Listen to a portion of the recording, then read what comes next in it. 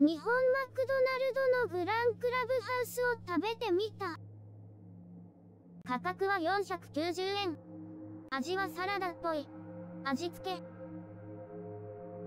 レタス量が多いだけで肉も薄いしトマトも薄い。肉厚と歌っておきながら実物は肉薄い。ベーコンの下に肉がありかにチーズ。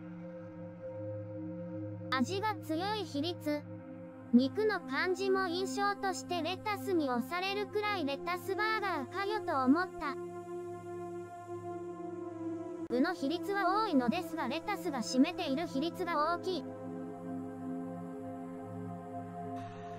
食べ終えて味は悪くないものの、500円出してこれ買う動機にはつながらない。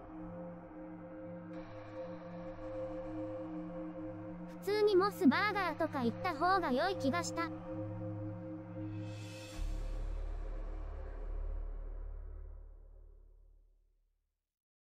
オニオンどこ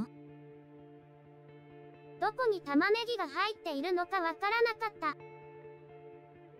トマトとパンがひっついているような状態でトマトの上にソースは感じなかったのですが、玉ねぎどこに行った？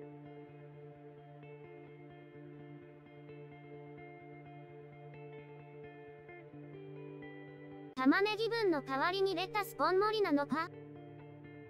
マクドナルドのサイトとは全く違いますじゃん。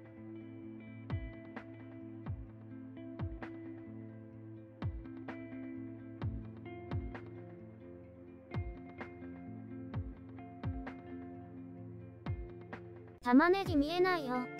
どういうことだ？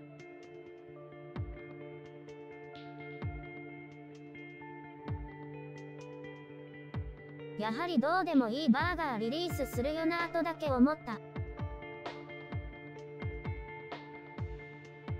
まだこの肉の薄さにレタス増したストマトの薄さなら、ダブルクォーターパウンダーチーズで500円の方が良かったのでは？と思う。